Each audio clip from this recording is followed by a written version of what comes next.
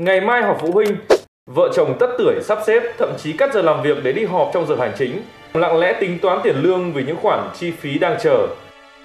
Có mấy ai ngồi chia sẻ với con trước khi đi họp? Có mấy ai biết mục đích, chương trình, nội dung của cuộc họp ngày mai sẽ là gì? Ngày mai họp phụ huynh, giáo viên thông báo kết quả học tập giỏi, khá, trung bình, yếu kém trong sự im lặng của các bậc phụ huynh. Giáo viên chia sẻ con học khá là cũng được, rồi lập tức nhận được những câu hỏi làm thế nào để con tôi giỏi lên? Con tôi thực sự thế nào? Phụ huynh thực sự cần gì từ những buổi họp phụ huynh? Chị Trần Thùy Linh, một bà mẹ đang rất hạnh phúc với những thành tích vừa đạt được trong năm học vừa qua của cậu con trai, nhưng cũng còn nhiều ưu tư sau buổi họp phụ huynh cuối năm. Và anh Đoàn Bảo Châu, võ sư, phóng viên ảnh, tác giả của tiểu thuyết Khói mà nhiều người biết đến, họ sẽ cùng bình luận về vấn đề hôm nay, tôi đi họp phụ huynh.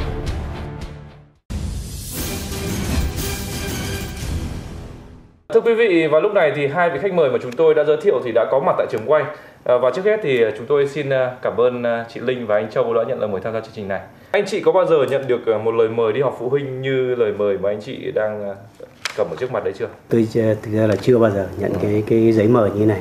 Vâng. Thế còn còn chị Linh thì sao? Tôi cũng chưa bao giờ nhận. Vâng. Anh anh Châu nhận xét thế nào về cái nội dung của cái cái thư mời này? Thực sự là tôi cũng thấy nó cũng không hiểu ý nghĩa của giấy mời này lắm. Ừ. bởi vì nếu mà là giấy mời riêng à, gặp mặt từng người một thì tôi nghĩ ở Việt Nam thì không có cái việc mà giáo viên sẽ có điều kiện gặp mặt từng phụ huynh. Ừ. còn nếu mà là để gặp một cuộc họp chung ấy thì lại càng khó hơn. Theo anh chị thì cái buổi họp phụ huynh nó nhằm cái mục đích gì? Mục đích của các cô giáo là sẽ thông báo cho các phụ huynh về uh, từng em một.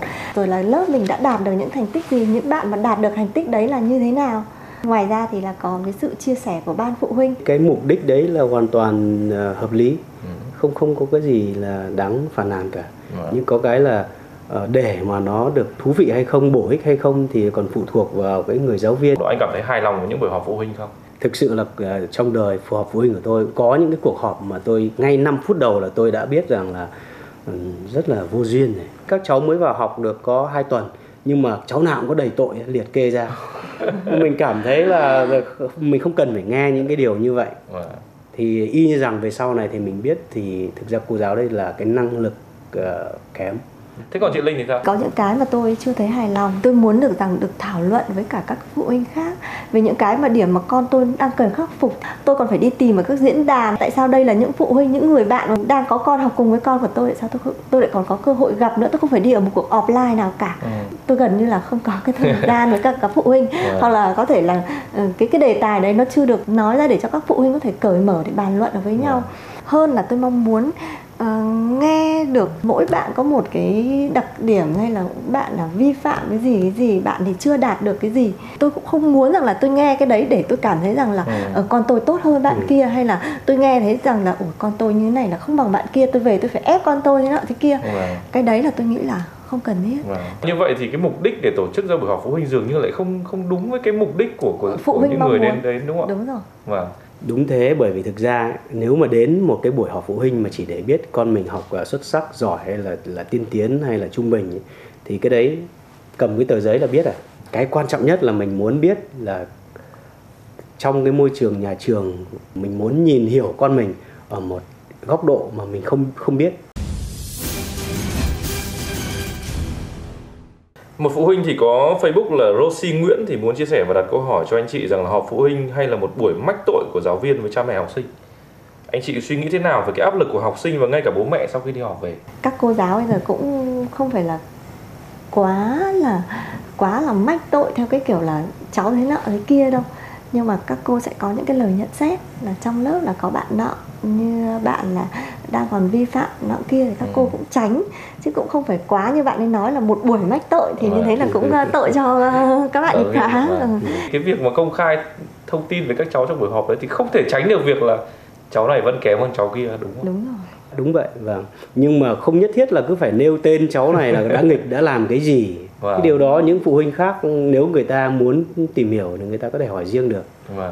còn cái những cái cái mà thông tin chung ví dụ ở lớp chúng ta là có bao nhiêu xuất sắc bao nhiêu giỏi bao nhiêu tiên tiến thôi, đúng không? thì tốt thôi có em học sinh có thể em học không giỏi nhưng lại bạn bè rất quý đúng rồi cái kỹ năng mà các bạn thích ấy, đấy chính là kỹ năng xã hội đấy và à. cái yếu tố con người của, của các cháu là chinh phục được các bạn khác à. thì các cháu đấy ra xã hội tôi nghĩ rằng là có khả năng thành công hơn có những bạn luôn luôn được yêu quý trong lớp thế nhưng mà bạn ấy không được tuyên dương bởi vì là ở trong cái mục phê bình nhận xét nó không có cái phần đấy.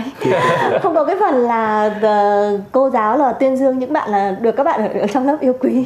Trước khi tham gia chương trình này, anh Đoàn Bảo Châu, vị khách mời trong chương trình đã chia sẻ trên Facebook của mình, trường học phổ thông ở Việt Nam thiếu hẳn những giáo viên là chuyên gia tâm lý, nhiệm vụ là để nói chuyện, lắng nghe, tư vấn cho những học sinh cá biệt có biểu hiện tâm lý không bình thường. Trong cuộc sống công nghiệp, bố mẹ và các thầy cô giáo bộ môn không thể đủ kỹ năng, kiến thức để làm việc này, trong khi tuổi tin là tuổi có nhiều biến động tâm sinh lý phức tạp. Tôi nghĩ báo chí nên đưa vấn đề này ra bàn luận để tác động tới Bộ Giáo dục. Vậy thì thực sự thì anh anh anh cảm thấy có vấn đề gì đang tồn tại ở trường và anh thực sự cần biết gì về con mình? Đây không phải chỉ là vấn đề của học sinh mà còn là vấn đề của người lớn nữa cả. Tôi thấy rất nhiều kể cả người lớn có những vấn đề về tâm lý nhưng người ta không có những bác sĩ ờ, tâm lý giống như ở nước ngoài để người ta có thể chia sẻ để có thể người ta chữa cái lỗ hổng trong tâm hồn người ta trong tâm lý người ta. Ừ. Thế thì bây giờ ở Việt Nam ấy thì một cô giáo một thầy giáo phải quản lý 40 50 vài học sinh À, mặc dù là các uh, thầy cô giáo có học về tâm lý ở nhà trường nhưng nếu như các thầy cô giáo không chuyên về những vấn đề tư vấn lắng nghe thì các thầy cô giáo cũng không giỏi trong cái việc làm bác sĩ tâm hồn Tại Mỹ, một cuộc họp phụ huynh hiệu quả là một cuộc gặp gỡ riêng tư giữa giáo viên và phụ huynh học sinh. Cuộc gặp gỡ tích cực chỉ nên diễn ra trong vòng 10 phút với sự chuẩn bị kỹ lưỡng của cả phụ huynh và cô giáo. Đó thực sự như một cuộc phỏng vấn xin việc vậy. Ở đó họ cùng bàn bạc với nhau để tìm ra cách tốt nhất để phát triển khả năng của đứa trẻ cả ở trường và ở nhà. Anh chị thì có trông chờ vào những cái buổi họp như vậy ở Việt Nam như bây giờ không? Ở nước ngoài khi mà ví dụ à, mà mình à, phụ huynh dẫn học sinh đến xin học chẳng hạn thì bao giờ cũng phải có những chuyên gia riêng phỏng vấn. Chuyên gia đấy là người ta sẽ nắm được cái học sinh đấy là như thế nào Ừ. Nên họ quan tâm đến khía cạnh con người nhiều hơn. Với những phụ huynh trẻ như chúng tôi vâng. thì là chúng tôi là rất là mong muốn, rất là mong muốn có một cái sự thay đổi. Anh chị đã bao giờ đề đạt những cái nguyện vọng của mình đối với nhà trường? Chúng tôi muốn thay đổi một học phụ huynh như thế chưa? Tại sao anh chị có có không làm những, được những điều như vậy? Anh anh Châu có lẽ là cũng bởi vì là cái không khí cái cuộc họp nó nghiêm túc quá mà nó thực ra là nó hơi chán thông tin vâng. hơi chán chúng tôi đến với môi trường về đến nhà trường chẳng hạn thì thôi nhà trường hỏi thì chúng tôi sẽ nói. Thế nhưng mà cũng chưa ai hỏi cả. Chúng tôi cũng đang rất là thụ động trong những cái việc như thế. Thực ra cũng chưa bao giờ nghĩ cái điều đó. Thực ra chỉ muốn về xong thì kết quả mình biết rồi. Cũng không có nhu cầu trao đổi gì hơn. Các thầy cô giáo là cũng là bị gọi là bị theo một cái khuôn khổ. Và khi mà đã bị một cái khuôn khổ đấy thì bạn sẽ không còn cảm hứng để mà làm việc nữa. Ừ. cũng rất là thông cảm với các cô. Trong cái cái cái um, cơ chế này thì họ cũng phải theo một cái quy định rất cứng nhắc họ không có một khoảng không nào cũng như một cái chuông xe đạp ấy. Nếu mà anh ờ, đặt cái ngón tay vào chuông thì nó không thể phát ra tiếng kêu được. Cái sự sáng tạo trong giáo dục chỉ có được khi mà thầy cô giáo có một cái cái tự do nhất định. Quan trọng là chúng ta trao đổi thông tin và chúng ta được gì trong cái cuộc đó. Thế thì tại sao không biến nó thành ra một cái cuộc vui? Thậm chí bật nhạc lên cho các con nó nhảy à? Phụ huynh cũng có thể nhảy được. Cái cuộc họp nặng nề xong rồi bố về coi vứt cái bản uh, kết, quả kết quả đây. Do về học tiến tiến theo trung bình. Vâng. rồi cuối cùng là tự nhiên nặng nề cả nhà đi. Vâng. ừ. tôi nghĩ là trong buổi họp phụ huynh thì các phụ huynh cũng không có khoảng không tự do. Cô giáo cũng không có không tự do. Ừ. có mỗi các cháu thì đang ở nhà các cháu thì không đang lo.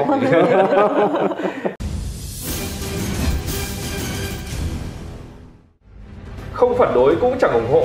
Một giáo viên tại thành phố Hồ Chí Minh đã thẳng thắn chia sẻ như vậy về việc nhận xét học sinh cuối năm một thông tin quan trọng cho những buổi họp phụ huynh. Một giáo viên tại quận Cầu Giấy tranh thủ mọi lúc mọi nơi mang việc về nhà, cắt xén thời gian dành cho gia đình đã chia sẻ, ngón tay bị chai, cánh tay cầm bút nhức mỏi, nhưng chán nhất là cảm xúc khô cứng vì thấy lời nhận xét cứ như từ khuôn đúc ra, có khác chỉ một vài chi tiết. Đúng như câu thơ các cô đã viết, bụi phấn cuốn đời em trên bục giảng, đêm khuya còn hò hẹn với 30. Một thầy giáo đã cụ thể hóa thành hai câu thơ, thông tư trên đầu, sổ sách trên vai, đôi tay ta đây đã dần chai sạn. Dù biết là không nên, nhưng các thầy cô tiếp tục phải chia sẻ cho nhau, tuyển tập mẫu nhận xét dành cho giáo viên. Chị Nguyễn Bích Hồng, một phụ huynh học sinh đã băn khoăn có nên cho con theo học hay không khi cứ phải nhận những lời nhận xét na ná quyển nhận xét mẫu. Anh chị có chia sẻ và có cách nào giúp đỡ cho những cái nỗi buồn này được đỡ đi không? Tôi cảm thấy thương các thầy cô quá. Cái việc mà lặp đi lặp lại như vậy sẽ khiến con người ta cảm thấy mòn mỏi. Tự nhiên chúng ta khoác lên một cái gánh nặng rất lớn cho các thầy các cô. Những gì thông tin tôi vừa chia sẻ thì thầy cô giáo biết là việc đấy không nên. Nhưng mà họ nhìn nhận là câu chuyện rằng tôi không còn một khoảng thời gian nào để chống nữa. Người ta có thể nhận xét một cách sáng tạo với khoảng không gian như vậy. không thể sáng tạo được. Học kỳ của chúng ta kết thúc sớm hơn để cho các cô có cái cái thời gian để các cô suy nghĩ về học sinh của ừ. mình. Như thế thì sẽ tốt hơn. Dạ. về phía phụ huynh không vội. Vậy vậy vậy thì cái sự vội và cái sự khuôn mẫu này nó đến từ đâu thưa anh Châu cái sự khuôn mẫu này là đến từ cả xã hội chúng ta. Các giáo viên người ta thấy gánh nặng người ta chỉ biết chia sẻ trên Facebook. Đấy người ta viết thơ đấy. Ừ, nghe nó rất là thương. Vâng. nhưng mà họ đâu có dám là phản ánh lại đâu. Các hiệu trưởng nữa đâu dám phản ánh lên sở giáo dục đâu. Sở đâu dám dám phản ánh lên bộ đâu. Thế thì cả xã hội chúng ta bị cứng nhắc như vậy. Ở trên đưa ra quyết định thông tư gì là ở dưới cứ thế mà làm chẳng dám phản ứng. Mặc dù là có những điều vô lý như vậy không hiểu là họ có nghiên cứu kỹ khi mà đưa ra những cái này không? Chúng ta đào tạo con người cơ mà. Có lẽ điều này cũng nói lên rằng tại sao những năm trở lại đây cái văn học nghệ thuật cái chất người trong những thế hệ thanh niên ấy nó kém đi là vì thế. Có thể chúng ta câu chuyện nó nó hơi rối ren trong cái vòng luẩn quẩn đó. Thì trong cái vòng luẩn quẩn đó thì các bậc phụ huynh hay nói rằng là trong sự nhờ thầy. Anh Châu là một người, một võ sư anh cũng là những người thầy anh nhìn nhận nào thế thế nào về câu chuyện này? Khoán trắng là như thế thì nhẹ gánh quá. Thầy cô giáo ở trường thì cũng chỉ là biết con mình một số tiếng đấy mà lại có một người nhưng mà quan sát đến bốn năm mươi học sinh. Thì cái, cái không thể khoán như vậy được. Dạy được một con người thành người thì nó gồm có bao nhiêu thứ? Nó phải có những cái kỷ niệm của gia đình có những cái lời nói sự âu yếm của bố của mẹ. Kể cả có những cái sự mạnh mẽ hơi khắc khổ của bố sự dịu dàng của mẹ. Tất cả những cái đấy nó mới hình thành được cái một con người chứ. Chị Linh sao sau cái câu chuyện vừa rồi thì chị có nghĩ rằng là cái hiện tượng chăm sự nhờ thầy nó xảy Tôi ra thì đâu không? hoàn toàn không đồng ý. Trẻ em ấy thì sẽ phát triển là môi trường nhà trường và gia đình. Hai cái đấy là nó phải song song. Sự thay đổi về mặt chính sách từ trên xuống thì bao giờ cũng chậm hơn thay đổi từ mặt dưới lên. Anh chị có cách nào đó để xóa bỏ những điều mà tất cả chúng ta đều không mong muốn xảy ra trong những buổi học phụ huynh hay không thay đổi ở dưới lên thế nào được. Bởi vì khi mà cả một xã hội chúng ta đều phải uh, theo một cái barem về chương trình về ứng xử về cả kể cái nhận xét cũng phải theo một cái barem. Thế thì chúng ta thay đổi thế nào? Bây giờ giáo viên mà người ta làm sai là người ta bị kỷ luật bị phê bình thì sao? Ừ. đấy là một vấn đề lớn hơn cả giáo dục về tư tưởng. Từ nhỏ tôi luôn được nghe người lớn nói rằng là im lặng là vàng nhưng đến ờ, đến học buổi học phụ huynh mà tất cả đều im lặng là vàng thì tôi nghĩ đây đây vàng này chắc không không giá trị gì cả. Xã hội hiện đại và văn minh là cần đến sự chia sẻ.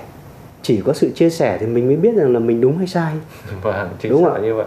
Và chúng ta sợ chỉ trích chúng ta sợ sai. Thành ra chúng ta cứ im lặng chúng ta giấu dốt vâng. có thể thế hệ sau các bạn ấy sẽ khác đấy.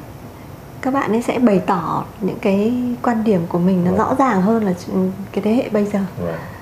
Các anh chị có sợ thiệt khi mà nếu có sự thay đổi tốt hơn không? Thực ra mà nói thì cũng không thiệt đâu sẽ thay đổi được. Nhưng mà chúng ta luôn luôn phải hướng tới một cái gì đó tốt hơn những cái hiện thời. Thì chúng ta dùng mạng xã hội dùng báo chí các nhà báo phải quan tâm. Và hãy bỏ cái quan niệm im lặng là vàng đi. Cuộc sống như vậy buồn lắm. Ừ. mà. hy vọng thì ờ, những năm sắp tới đây thì những buổi học phụ huynh sẽ cảm thấy thú vị và vui vẻ hơn bằng sự thay đổi của tất cả mọi người đúng không ạ và cảm ơn anh chị rất nhiều cho cái chương trình ngày hôm nay cảm ơn, cảm ơn chương trình thưa quý vị sau không ít những buổi họp phụ huynh là những cái lắc đầu ngao ngán là những nỗi buồn của thầy cô phụ huynh về những sự hình thức dập khuôn thiếu sáng tạo của những buổi họp như vậy. Tất cả sự dồn nén ấy lại được đem về nhà, đặt lên các em học sinh. Họ có chung nhau một điều, đó là nỗi khổ tâm.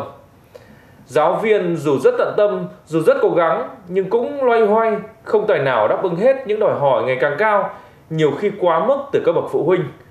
Các bậc phụ huynh thì im lặng chấp nhận những buổi họp phụ huynh như thế. Một số người lên tiếng thì chăm sự nhờ thầy, hoặc đòi hỏi nhà trường thầy cô phải làm gì đi chứ, để con tôi có thành tích cao. Một số khác thì chia sẻ những bức xúc của họ trên Facebook. Tất cả đã đẩy các em nhỏ vào một cuộc đua thành tích, căn bệnh mà khi nhắc đến nó, ai cũng lắc đầu ngao ngán. Cuộc rượt đuổi thành tích ấy các em có cần không? Nó có thực sự giúp các em phát triển toàn diện hay không? Thay mặt các bậc phụ huynh, chúng tôi mong muốn Bộ Giáo dục Đào tạo chia sẻ những tâm tư và nguyện vọng này. Chương trình vấn đề hôm nay cũng xin kết thúc tại đây. Xin cảm ơn quý vị và hẹn gặp lại.